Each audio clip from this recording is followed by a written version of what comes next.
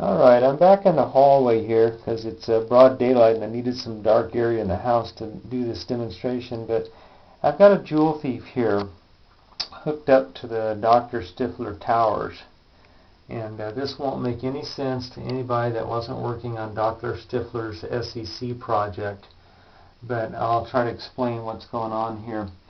Um, I don't know exactly why this is working, and Dr. Stiffler, if you watch the video, maybe you can uh, email me and explain what happened and why it happened. But all three of the coils that would be on a SEC are wound up on that toroid, L1, 2, and 3. And um, somehow I got some sort of a resonance going on here with this uh, Joule Thief circuit, and I'm bouncing it out through these towers, and I'm sending it down there on one wire now this is uh, similar to one of the experiments I ran earlier with the one wire, but um, not the same and I don't really know what I'm doing so I don't have the values correct. But I'm running the circuit on an NPN 3906 instead of a PNP. basically running it backwards.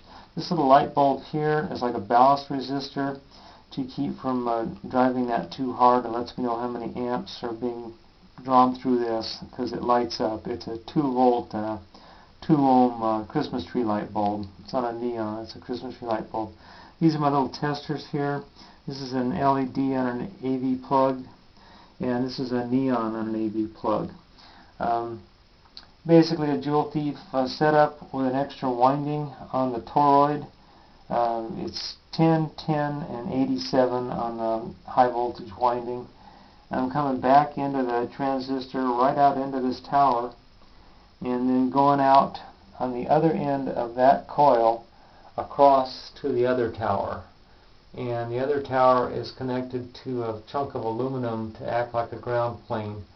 Um, I think Dr. Stiffler calls them parasitic plates too, so I don't know exactly what to call that, but this is my board that has uh, 27 LEDs on it, and uh, uh, I'm going to light that up with this 9 volt battery. So let me go ahead and light this up.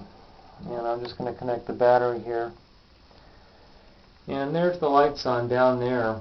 And um, like I say, they're on. They're not on super bright, but they're on.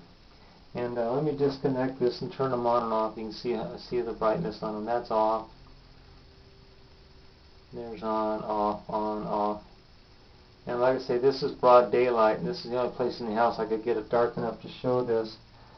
But what uh, I'm interested in, and here again, Dr. Stiffler, maybe you can help me out on this, is the energy cohesion part of this. And see that little LED on right there? This is being illuminated all around this. And if I touch the battery here, it goes on really bright. Same thing with this uh, sender tower here. Touch it and goes on very bright. Come over here on this side and touch the tower with it.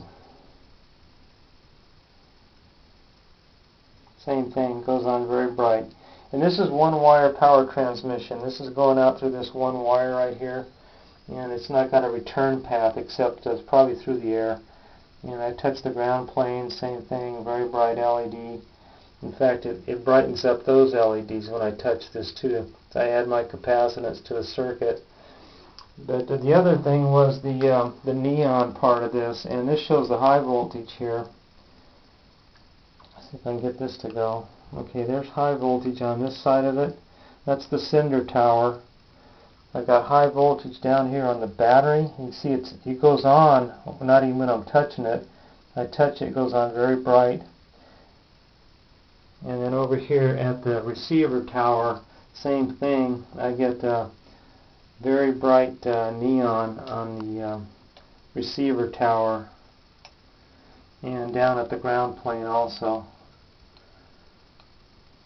It might be a ground plane or parasitic plate. I don't know what you want to call this, but without that, this doesn't work.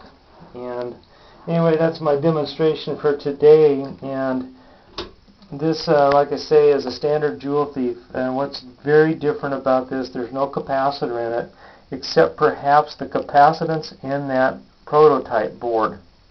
And Dr. Stiffler, you were explaining to me that these prototype boards have capacitance in them. Also, I suppose these coils would uh, be the capacitor part of the tank circuit. But um, anyway, I was um, fascinated to see this, and I wanted to share it with people. This is a Joule Thief uh, circuit um, acting like a SEC circuit. Thanks for watching.